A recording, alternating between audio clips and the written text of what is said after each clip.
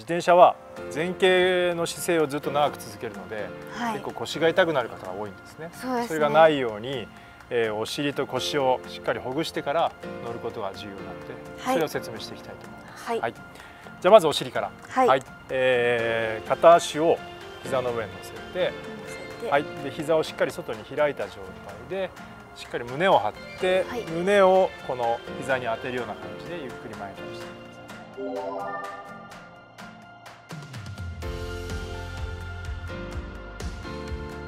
で反対にしましょう。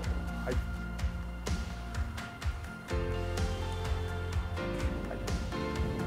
ああ気持ちいいねできるだけ呼吸をリラックスしてやるようにしてください。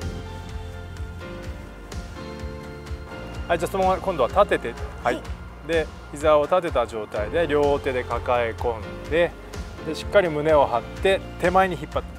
ぎゅーっと引っ張るとさっきと違ったお尻の場所がね、あると思います。これもまあ30秒ぐらい。はい。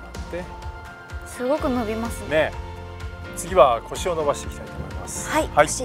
えーっとこのまま立ったの状態で軽く膝を曲げて、曲げて。はい、で胸を太ももにつけます。はい。はい、で両手で太ももを抱きかかえていただいて、はい。えー胸と太ももが離れないように。はい。できるだけ腰を高い位置に持っていくように膝を伸ばしてみてそうするとお尻から腰まであはい。太ももの裏もね伸びてくると思います。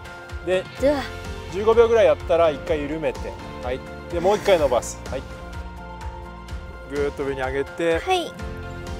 あで膝を緩めてはい立ち上がってください。終わりです、はい。ーははい、このようにお尻と腰、えー乗る前にほぐすことによって、はい。快適に乗ることができると思いますので、はい。続けてやってみてください。あはいやってみます。